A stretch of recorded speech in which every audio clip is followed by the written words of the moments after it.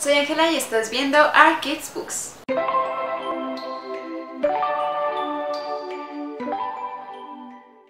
Buenos días, tardes o noches, donde quiera que se encuentren, queridos y queridas. Espero que se encuentren súper, súper bien disfrutando de las festividades propias de este mes y todas las cosas bonitas que trae. Y de las vacaciones, que es una de las cosas más bonitas de este mes. No sé por qué, pero el libro del cual les hablaré hoy me parece muy oportuno para esas fechas y es uno de esos libros con los que tú te puedes sentar en el sofá con tu manta favorita mientras tomas un chocolate caliente y escuchas la lluvia caer afuera. Sin embargo, no hay que dejar de lado que este libro de hecho aborda uno de los temas que menos son populares en la literatura juvenil y esa de hecho será parte de la charla que tendremos ustedes y yo el día de hoy. Y me refiero al tema de la homosexualidad en la literatura.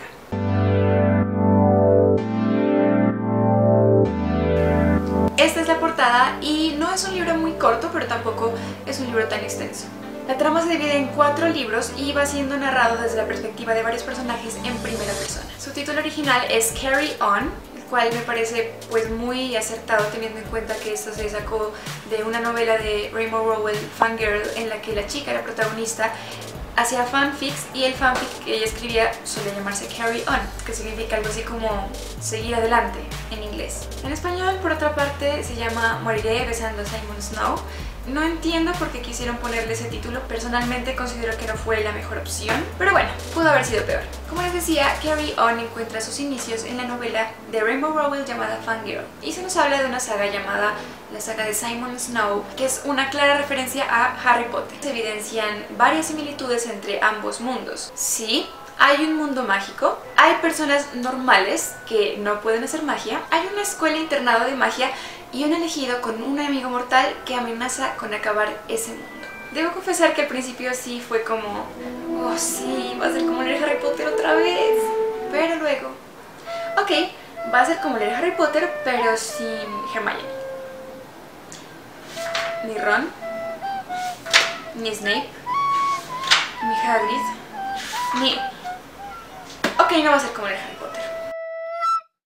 Nuestro protagonista en Carry On es Simon Snow, un chico de tan solo 18 años que pasa la mayor parte de su vida en casa hogar porque es un chico huérfano, pero en el mundo de la magia resulta ser nada más y nada menos que el elegido para acabar con el Humdrum, quien es un enemigo mortal de Simon y que amenaza con acabar con todo el mundo de la magia y la magia en sí. El Humdrum no tiene nada que ver con Voldemort, comenzando porque el Humdrum sí tiene nariz. Ahora bien chicos, no sé qué tan buena idea haya resultado sacar un libro que parte de otro que dejó huella en el mundo de la literatura. Porque si bien es muy evidente que no tiene intenciones de resultar una copia de la creación de J.K. Rowling, me fue súper inevitable compararlo con Harry Potter. Y es que déjenme decirles que crear todo un mundo de magia, un mundo tan extenso y con tantos detalles y con esa trama tan especial como lo hizo J.K. Rowling en sus siete libros, es una tarea terriblemente difícil de reproducir. Más aún teniendo en cuenta que Rainbow Rowell únicamente tenía un libro para hacerlo. Supongo que esta pudo haber sido una de las razones por las cuales yo al principio sentía que la historia no fluía. Obviamente la escritora debe introducir al lector en el contexto en el cual se va a desarrollar la trama, pero sobre todo en la primera parte del libro yo sentía que quería avanzar, que quería que algo pase. Y me pasó algo parecido a como cuando uno quiere estornudar y está a punto, a punto de hacerlo y de repente simplemente se va y no sucede nada. Y es muy frustrante. Obviamente es algo similar, pero en el sentido literario. Se hacen pequeños pares durante la historia principal para explicar cosillas importantes, sobre todo respecto al pasado de nuestros personajes. Todo con el fin de que el lector se familiarice muy bien con este universo y sobre todo para que comprenda que no, no, lo siento, Dobby, Dobby no va a aparecer en ningún momento.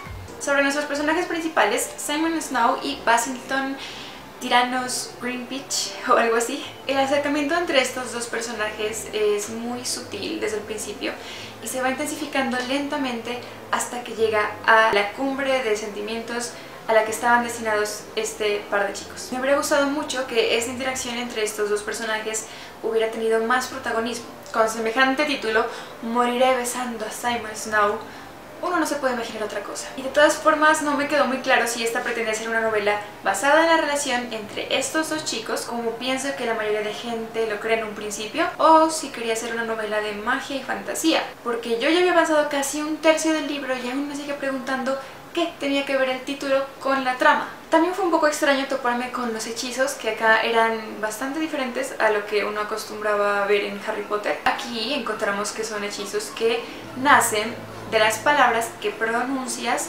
conforme a una necesidad. Por ejemplo, en un momento surgía la necesidad de uno de los personajes de buscar algo. No puedo decir quién ni qué estaba buscando porque es spoiler. Pero en fin, estaba buscando esto y las palabras que surgieron de él fueron Scooby-Doo, ¿dónde estás?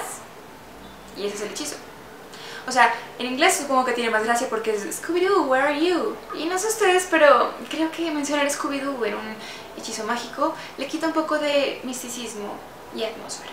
Amé la manera en la que ella describe los sentimientos de una forma tan congruente. Bass, el compañero de cuarto y enemigo mortal de Simon Snow, quien es un vampiro, me encantó ese toque de gracia que le dio, esa sensibilidad escondida. De ser abatido por las contradicciones propias de la juventud y tratarlo de esconder todo tras una máscara de calculadora frialdad y soberbia ante cualquier situación. Simon Snow también me gustó, pero no es un personaje con el que me encariñé tanto. Pese a ser elegido gran parte del libro...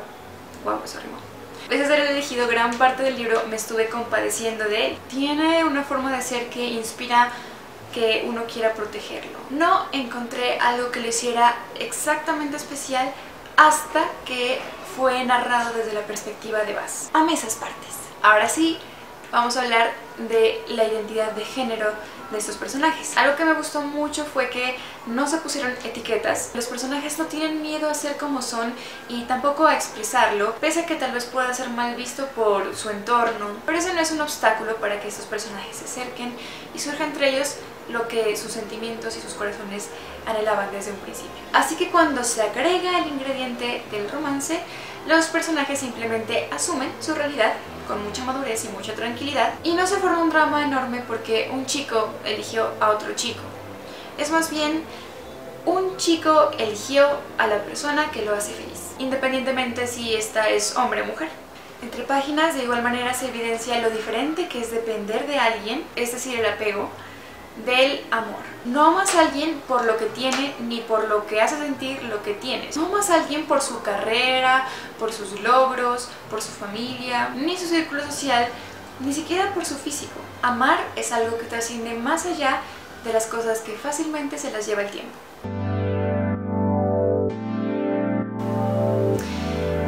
Este libro, señoras y señores, tiene un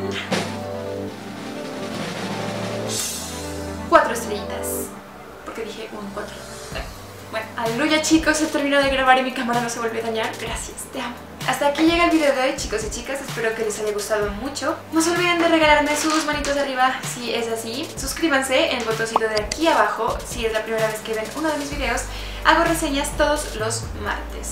Los martes, chicos y chicas, los que ya han estado aquí antes, van a ser de reseñas y elegiría otro día de la semana para subir otro tipo de videos. Quiero aprovechar este poquito de batería que me queda para agradecerle a mi novio, gracias mi amor, por este bonito conjunto que estoy utilizando el día de hoy. Sin ser más por ahí, nos vemos en la próxima sesión de Arcades Books.